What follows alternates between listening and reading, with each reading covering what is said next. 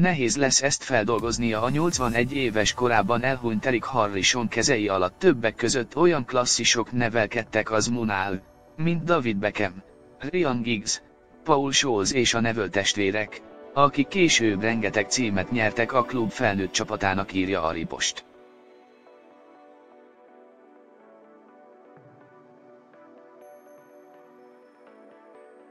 Sir Alex Ferguson, a United korábbi menedzsere szerint minden idők egyik legjobb edzője volt a Eric Harrison.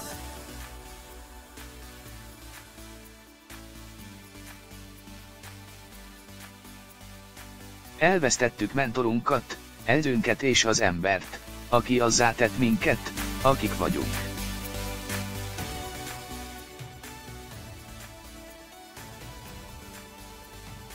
Ő tanított meg minket arra, hogyan kell játszani, hogy soha ne adjuk fel.